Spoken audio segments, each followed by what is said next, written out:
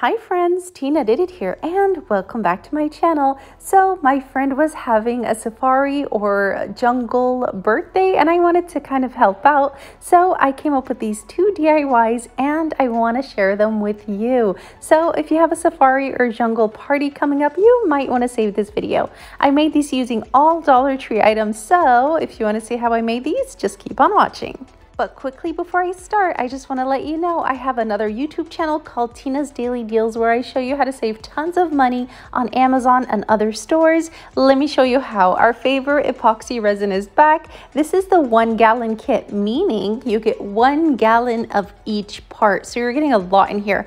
And resin can add up, you guys. I know how expensive it can be. But this is $99.99 by simply putting a code at checkout. You're going to get it for only $38. Now let me show you one more and I kind of brought this over here to this channel because we can honestly use this for organization as well, not necessarily donuts and bagels, but look at this. It's this acrylic donut display stands and you get six of them and we're saving 50% regardless. You can go ahead and choose two of the square, two of the round or six of the long ones. And honestly, those are my favorite because we can use this for washi tape and ribbon, scrunchies and more. But I mean, the holidays are just just around the corner. So, I mean, I don't know about you, but I have tons of ribbon. so this is going to be great. Now, remember, we're saving 50% with our code. I'm going to show you the lowest we can get it for. So I'm sticking with that six piece, $19.99 by just putting in the code at checkout is going to be $9.99. That's like getting each one at Dollar Tree.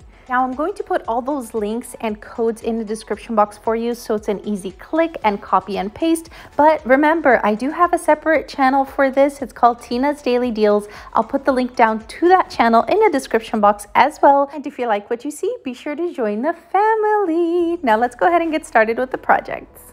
So this one is kind of old, but honestly gold. Here we have these two different sizes of containers and I did find these at Dollar Tree. They have like a medium size one a small one too, I believe, but then there was a large one. I was kind of surprised with that one. So I grabbed the medium and the large and I grabbed these animals from the toy section and I'm just going to put them on the lids. I did wipe down the lids beforehand and now I'm just going to organize them the way I'd like and I'm going to go ahead and glue them down using E6000 because E6000 does have a more permanent seal and this is going to be in a kit party. So hopefully it doesn't come apart and here is the final product.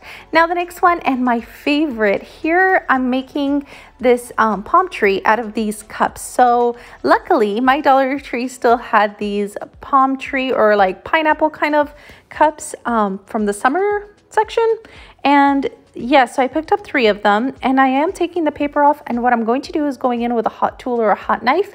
I'm going to trim down the rim of the cup up there for two of them and only two because one of them is going to be the top of the tree and we need to be able to twist the straw back on there. Now to add weight to this because I was kind of worried about it like shaking and falling off, I'm going to add some rocks, but you can use sand or anything you have on hand.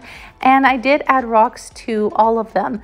Now it's time to glue them together. And you know, I'm running to that E6000 because I do not want this to fall apart. And I'm going to do a little bit of hot glue just to kind of keep it in place until E6000 does um, like completely dry. And then I'm going to go ahead and bring in the platter or the plate and going in with E6000 one more time. I'm going to glue it all onto the plate. And yes, I'm using E6000 because this is going to be around children. I just don't want it to come apart. And did I forget to mention, if you like videos that are straight on point and cute and simple projects like this one, and definitely affordable, be sure to subscribe and click that bell button so you're notified every time I upload a video. And if you're new here, welcome, welcome. It's great to have you here. Now be sure to subscribe and click that bell so you're notified when I upload my next video. Now, we remember we're saving one of the straws. I'm going to take the leaves off of the other two straws. Remember we have three of them. So we're taking the leaves off and we're adding it to that one single straw and I'm cutting the extra piece on top there and I will be like puffing it out and adding some glue because I don't want the leaves to kind of like fly off. So just using hot glue just to kind of keep everything in place. And I am puffing it out like you see here.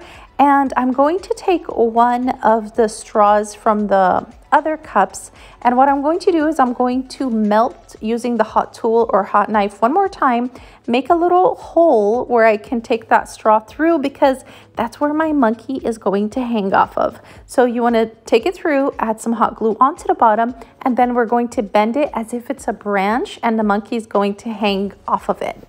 And I will be adding some hot glue right under the straw there just to kind of keep it down and in place.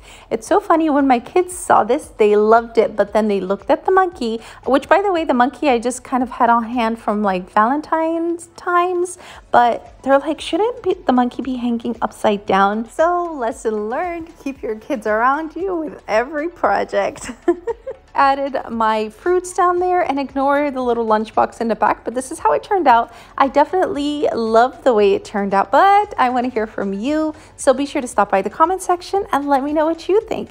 And if you like this video, be sure to give it a big thumbs up and subscribe for more fun DIYs. And be sure to share with your friends. Thank you all for watching. Stay safe and I'll see you all next time. Oh, and I love you all. Bye.